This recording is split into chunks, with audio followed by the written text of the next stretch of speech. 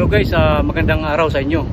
Ah, ngayon dito po tayo sa Barangay San Roque o mas kilalang tawag dito sa amin na Aronghol. Sako po ito ng Llorentes and Samar. So nandito tayo ngayon sa beach nila. Sisilipin natin yung kanilang ah, magagandang ah, rock formation dito. At isa ito sa mga dinarayo na paliguan dito sa Llorente, itong ah, Aronghol Beach o San Roque Beach. Kaya panoorin nyo po yung vlog kong ito ah, para matunghayan nyo yung kagandahan ng paligid ng kanilang ah,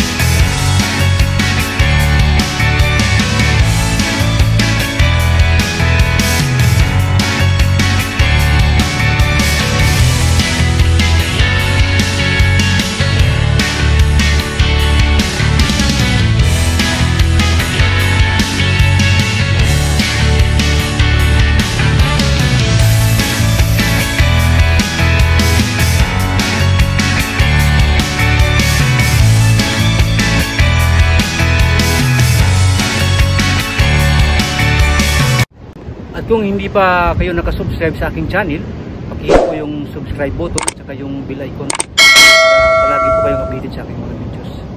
Thank you po.